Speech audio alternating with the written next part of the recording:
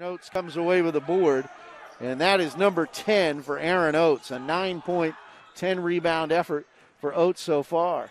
And here he spins off the glass. It's good. A double double in this ball game now for Aaron Oates. 11 points, 10 rebounds for the freshman out of Jacksonville, North Carolina. Ball knocked away. Oates has it. He's looking to race to the bucket, and he rams it home. Rams it home. And the Eagles win 80 to 75 final. The Eagles, five players in double figures tonight, led by Aaron Oates in his double double. 21 points, 13 rebounds for the young man.